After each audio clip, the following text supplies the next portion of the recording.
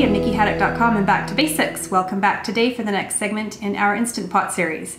Today we're going to be doing uh, macaroni and cheese, a family favorite, and this one looks super easy to make, so I can't wait to give it a try. Just another reminder of the upcoming draw for this Instant Pot here, July 31st, 2019. Make sure you get in on the contest. The instructions for entering are on our social media pages. So with that being said, let's head over to the kitchen. So we're ready to start our mac and cheese. So we're gonna put into the Instant Pot two cups of uncooked macaroni, four cups of low sodium chicken broth,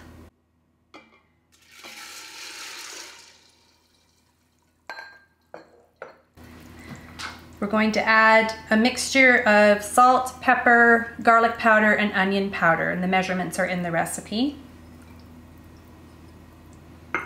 Two tablespoons of butter, and a teaspoon of hot sauce, which just adds a little depth of flavor.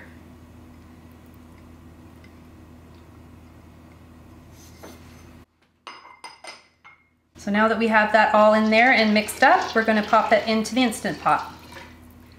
So our macaroni's in the Instant Pot and we're ready to seal the lid.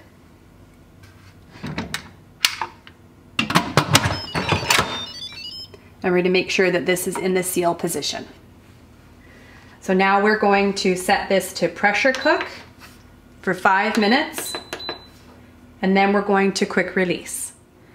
Our mac and cheese has finished cooking. We've released the pressure and we've also strained off the excess liquid. So now we're going to add three quarters of a cup of milk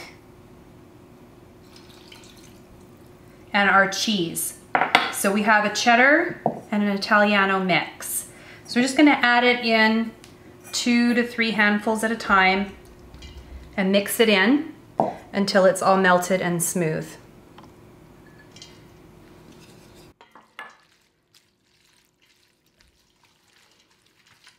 just keep doing that until all of the cheese is incorporated.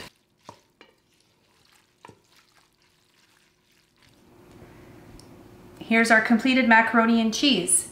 Just a quick side note, I noticed when we were making this that when we strained off the excess liquid and then we added in the milk, because I added it in cold, the cheese was not melting as nicely as I wanted it to. So what I did was I put it on to saute, for just a couple of minutes, keep stirring it constantly till the cheese melted nicely. Another option would be warming that milk up prior to putting in the cheese. That way the cheese should melt nice and uniformly. So it's turned out really nice. I can't wait to give it a try. Hope you enjoyed this week's episode. Give us a thumbs up, a like, hit the reminder button on your notifications so that you don't miss any future segments. As always, the recipe can be found below.